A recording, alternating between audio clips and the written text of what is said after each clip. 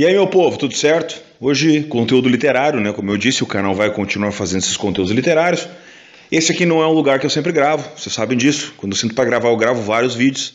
E minha casa está em reforma, né? Estou fazendo pinturas na casa.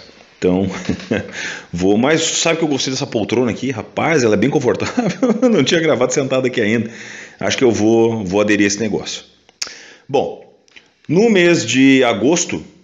Agosto? Foi, foi o mês de agosto a gente fez a leitura coletiva do livro do Ken Follett, O Homem de São Petersburgo. Este aqui, ó. Este rapazinho aqui, certo? Uh, nós temos um grupo no Telegram e agora no mês de outubro nós vamos ter novas leituras coletivas, tá? A enquete está sendo fechada e os livros que foram escolhidos para o mês de outubro são dois, tá? Eu vou ler os dois.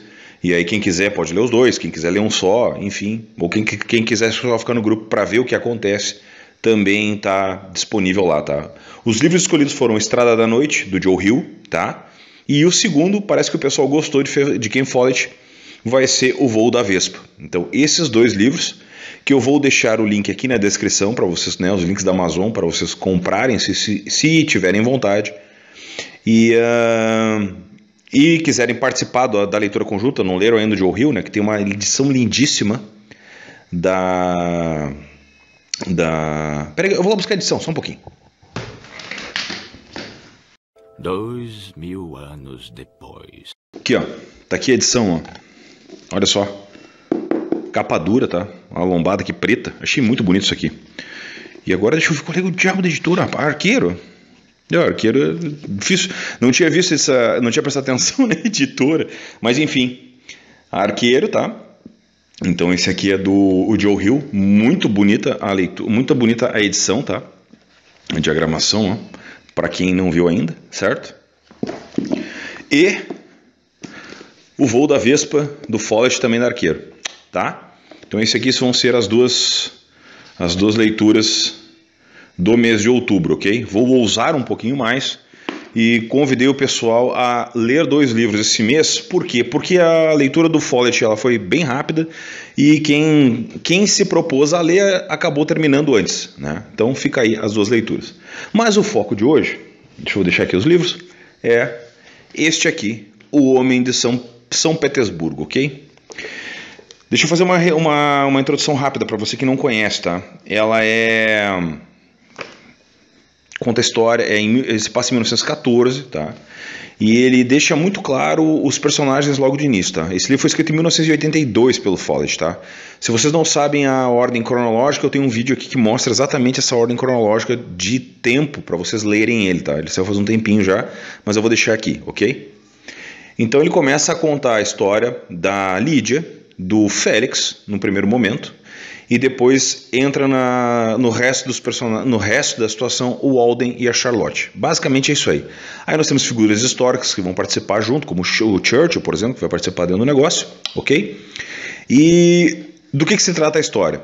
O Félix, tá? Ele é o grande vilão do livro, ele é um anarquista, ok? Então ele está sendo contratado para fazer uma, um atentado, que eu não vou dizer qual é, porque o plot inteiro vigila em torno disso, certo? E a Lídia e ele têm um, têm um relacionamento já mais ou menos moldado, que o Alden, que é o nosso, que é o personagem que eu basicamente mais gostei, não faz a menor ideia da existência. Basicamente é isso, ok?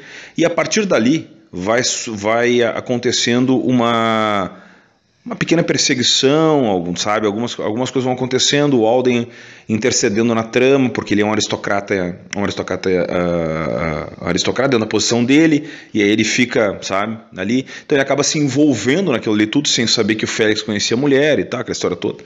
Enfim. E aí nós temos a Charlotte, que é filha do Alden com a Lídia, mas isso é questionável né, dentro de um contexto geral, essa situação toda vai ser colocada em xeque de todas as formas possíveis, ok? Bom, o uh, que, que, eu achei dos personagens? O Alden é disparado o melhor, para mim. É um personagem bem construído, ele tem a posição dele, os motivos deles fazem sentido para mim, então foi o que eu mais gostei. A Lydia e a Charlotte são duas chatas. Eu achei chato pra caramba e realmente me incomodaram profundamente as personagens femininas, porque elas não eu não consegui ter apreço nenhum por elas, tá? Nenhum. Eu até marquei uma página do livro aqui que fala, porque aqui ele vai mostrando um pouco do movimento sufragista no início do negócio, sabe? Então, ela tem uma, tem uma parte que é quando a Charlotte, que é filha do Alden e da Lydia, começa a ter uma, uma entropia e perceber o universo em volta dela, tá? Então existe um parágrafo que eu, que eu marquei aqui, ela diz o seguinte, ó. Enquanto isso, a duquesa dava início à sua canti, cantilena. As classes inferiores eram ociosas, disse ela.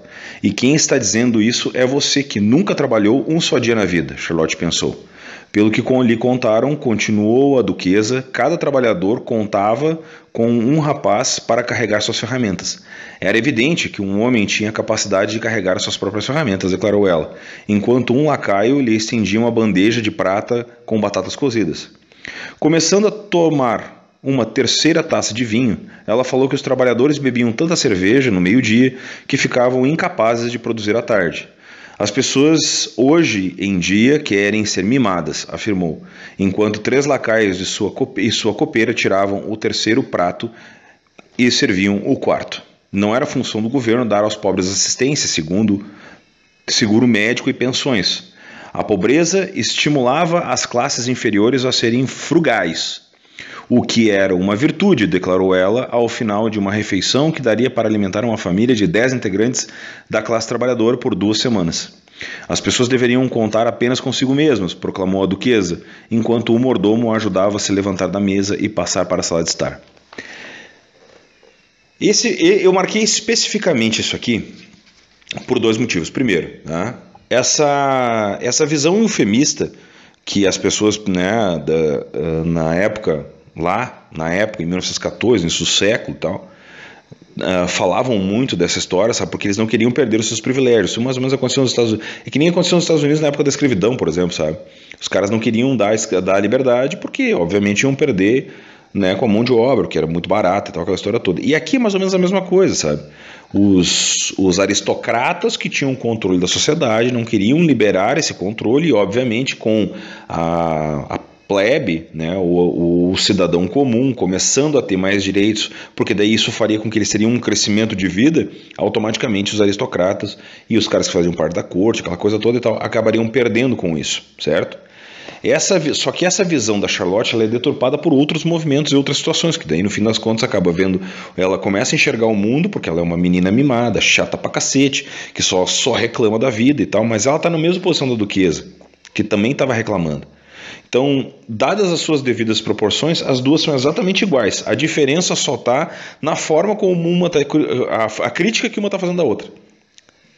Essa é a pegada do negócio. Então, para mim, uh, o Alden, voltando, então ficou super bem construído. O Félix, as suas motivações de vilão, ok, show, valem, sabe, faz todo sentido no contexto.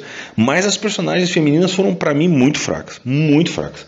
Eu confesso que eu acredito que essa aqui seja a minha primeira decepção com Follett, sabe?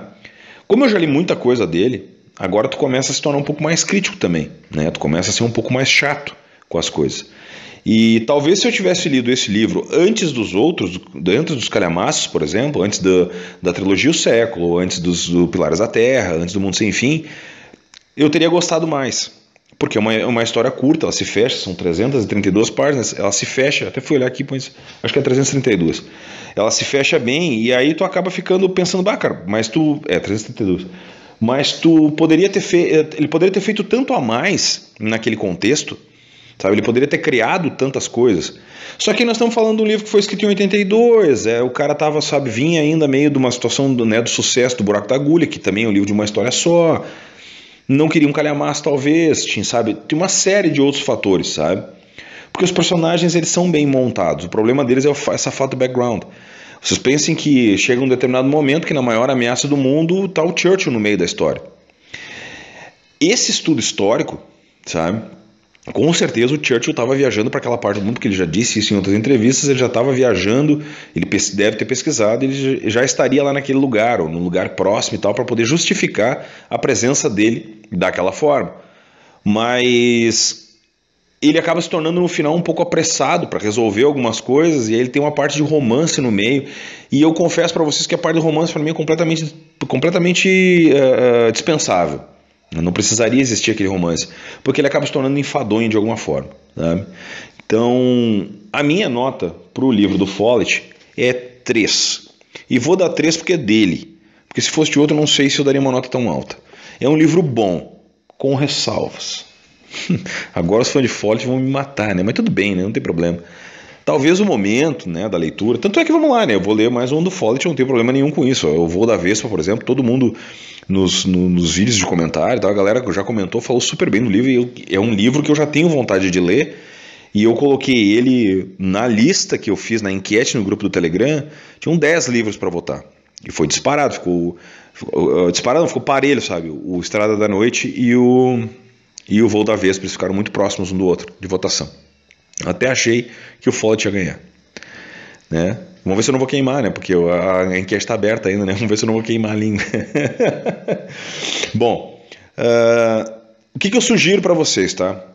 Se vocês não leram ainda uh, Pilares da Terra, se vocês não leram uh, a trilogia O Século, e vocês estão pegando só os livros soltos do Follett com as histórias fechadas, como eu fiz no vídeo que eu sugeri a, né, a timeline do Follett, vão sem medo, o livro é bom, vocês vão gostar. Eu, que já li mais, acabei ficando com umas certas ressalvas, sabe? Tem umas cenas que, hum, sabe, não não colou muito bem, não rolou muito bem ali para mim, sabe? Eu achava que poderia ser feito de uma maneira diferente. Mas tudo bem, não tem problema, vida que segue, é isso aí, tá? Mais uma das minhas leituras desse ano, se eu não me engano, eu estou uh, com 24 ou 25 livros lidos já esse ano, uma coisa assim. Isso deve dar. Eu, tenho, eu não sei o número de páginas ainda, né? Porque eu, eu, eu não me basei pelo número de livros, eu me, me basei pelo número de páginas. Número de livro, tu pode pegar um livro de 30 páginas, se for o caso, né? entende? Então eu prefiro pegar os números de páginas, ok? Espero que vocês tenham gostado da resenha. Se vocês não, se vocês não têm o que ler ainda, se querem participar do grupo, entrem aí, o grupo do Telegram está aqui embaixo na descrição. Todos os vídeos têm basicamente, eh, desde que eu entrei no grupo, todos os vídeos têm o grupo do Telegram, né, que eu estou anunciando ele. Entrem lá, vamos trocar uma ideia, vamos começar a se, a se ambientar, porque eu quero trazer alguma coisa de livro clássico pro ano que vem, tá? A minha ideia seria que lá por julho, agosto do ano que vem a gente leia Os Irmãos Karamazov, quem não leu ainda, tá? Então fiquem ligados aí para a gente já ir se acostumando, esquentando os motores. Então esse, esse mês, por exemplo, eu vou dar uma forçadinha né, no pessoal para a gente daqui um pouco ler dois livros. Eu mesmo vou me, vou me colocar nessa posição para tentar manter o cronograma, para ver como é que fica e tal, como é que anda, né? E quem, quem gosta e quem não gosta. Acho que vai ser uma boa experiência, tanto do Estrada da Noite quanto do Voo da Vespa. O Voo da Vespa com certeza vai ser melhor, não tenho dúvida disso. Mas eu acho que o Estrada da Noite vai ser uma experiência bem legal também, certo?